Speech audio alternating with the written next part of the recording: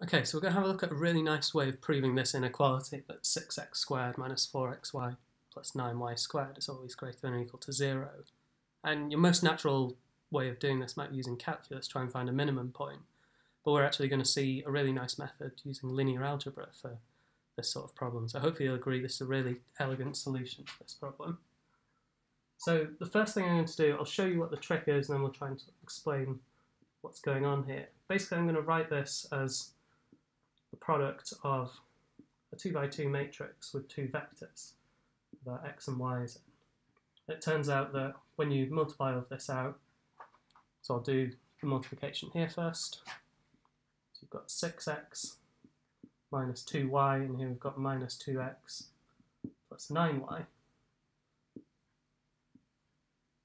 There's our column vector, and then we've got xy here.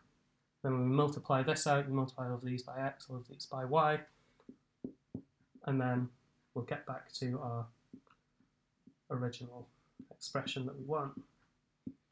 And here I've split this up sort of equally, the minus 4 into minus 2 and minus 2. I'll sort of go into the details of why I've done that later on, but that's going to turn out to be important.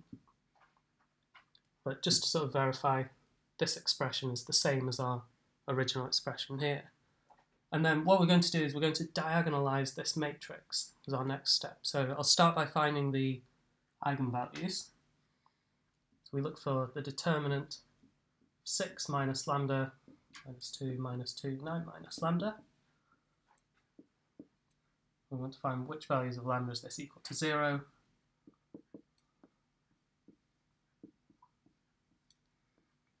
And minus 4 so when we expand this, you get lambda squared minus 15 lambda, and then plus 54 minus 4, so plus 50. And then you can see this has a nice factorization, lambda minus 10, lambda minus 5. So our eigenvalues are, we'll say lambda 1 is 10, and lambda 2 equals 5. So now we'll find the corresponding eigenvectors for these. So we'll start with the first eigenvalue, which is 10. So to find a corresponding eigenvector to this, just need to solve the usual matrix equation, 6 minus 2 minus 2, 9. Multiply this by a vector, xy, and this needs to be equal to 10 times the original vector, so 10x, 10y. And then we'll get two simultaneous equations here, 6x minus 2y equals 10x, and also minus 2x plus 9y equals 10y. And then when we solve these, we'll get y equals minus 2x. So we can have, for example, we could take our eigenvector to be 1 minus 2, but I actually want a unit eigenvector for the sake of what we're doing here, and we'll sort of go into the details of why later on. But if you look at the magnitude of this, it's the square root of 5. So I'm going to divide through by root 5. And I'm not going to rationalise the denominator just to try and keep it a little bit more compact. So we'll take this as our unit eigenvector for the eigenvalue 10. And then what we'll do next is the exact same thing for lambda 2, which is 5. So you solve the same matrix equation, but you've got a 5 in place of this 10. So this gives you your simultaneous equation 6x minus 2y equals 5x. And you also get minus 2x plus 9y equals 5y. And then when you solve these, you'll get x equals 2y, which tells you you could take, for example, 2, 1 as your eigenvector for this eigenvalue, but again, I want a unit eigenvector. So we divide by the magnitude, which is root 5 again. We get 2 over root 5 and 1 over root 5 as our second eigenvector. So now we're ready to actually diagonalize this matrix. So now we've done all the work we need to do to actually diagonalize this matrix. And we say we call this original matrix A. What I'm going to do next is actually write it in the form P times by D times by P inverse, where this is our diagonal matrix with the eigenvalues on the leading diagonal, and then P is going to be the matrix using the corresponding eigenvectors as columns. So P, this is going to be 1 over root 5 the first column, minus 2 over root 5.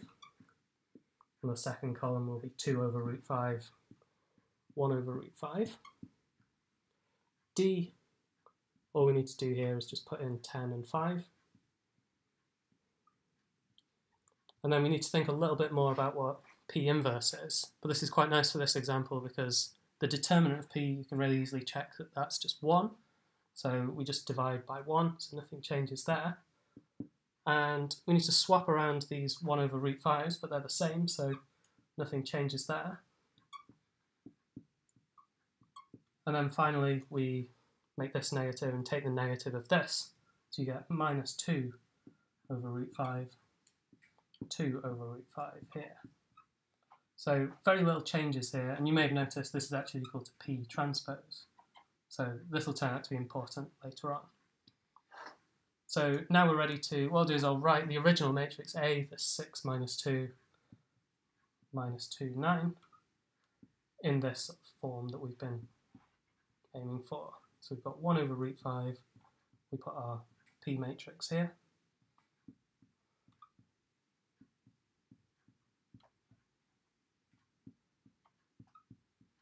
And then multiplied by the diagonal matrix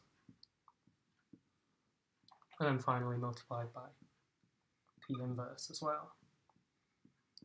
And then what we'll do next is we'll actually have a look at this. What does this tell us in the context of the original problem, so trying to solve this inequality. So remember that we're trying to show that this expression here is always greater than or equal to zero. And we've written it using a matrix, and then we've written the matrix in this sort of expanded form. What we're going to do next is multiply these two together, multiply these two together, and then this will give us a nice new expression. So when you multiply by this first column, you'll get x minus 2y over root 5. And then multiplying by the second column, you'll get 2x plus y over root 5.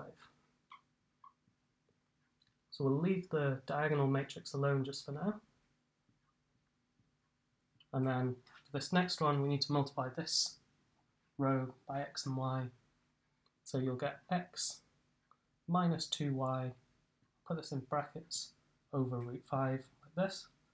And then beneath this, you'll get a 2x plus y over root 5, just like this. Okay, so now what I'll do is I'll multiply these two together and then we'll multiply by this finally at the end. So again, this is quite nice, so your 10 and 0, all you're going to get is basically this same thing where you multiply by 10 and this gets multiplied by 5.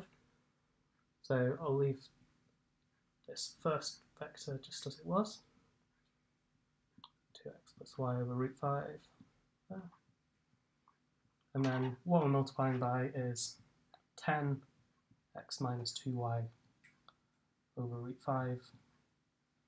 And we'll get 5 2x plus y over root 5, like this. Then we need to multiply these two together. So hopefully you can see your x minus 2y over root 5 becomes squared now. So this is going to give us a really nice expression. So basically this is all equal to 10 times by x minus 2y over root 5 all squared plus 5 2x plus y over root 5 all squared.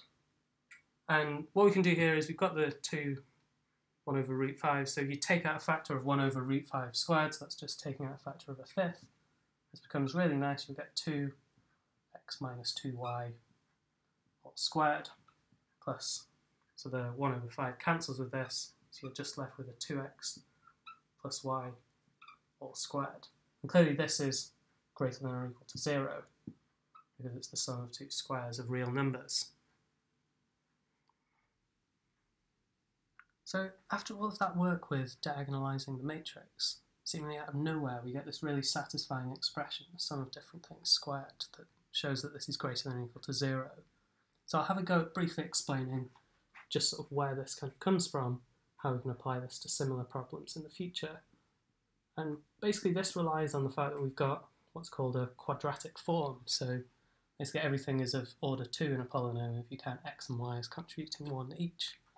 And this means that you can always write this as a product of vectors and matrices. So you've got alpha, beta over 2, beta over 2, gamma. So just like we did at the start of this problem. And it's really important that I write it as a symmetric matrix where these two are equal to each other because then I can apply the spectral theorem, which basically tells you that any real symmetric matrix, you can diagonalize this using an orthonormal basis of eigenvectors. And what that's telling you is essentially you can always write your matrix A, we define this as A, you can always write this as P d P inverse, where actually P inverse is equal to transpose. So in less technical terms, basically it means that your P matrix, its inverse is its transpose when you diagonalize. So now we want to try and apply this. What does this tell us? Then, then you've got xy multiplied by, we'll call P matrix A, B, C, D, or you know that B is equal to C. You've got lambda 1, lambda 2, your eigenvalues. We've got A, C, B, D here. And this is all multiplied by xy. And then when you multiply this out, basically what you get is lambda 1 ax plus by all squared plus lambda 2 cx plus dy all squared. And of course this depends on your eigenvalues have to both be positive in order for this to be greater than or equal to 0.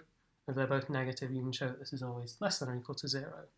So even though it doesn't quite always work for every quadratic form, you can prove some inequalities using this sort of method. It's a really beautiful application of linear algebra. Hopefully you can agree that this is a really satisfying way of proving that this expression is all greater than or equal to zero without using calculus.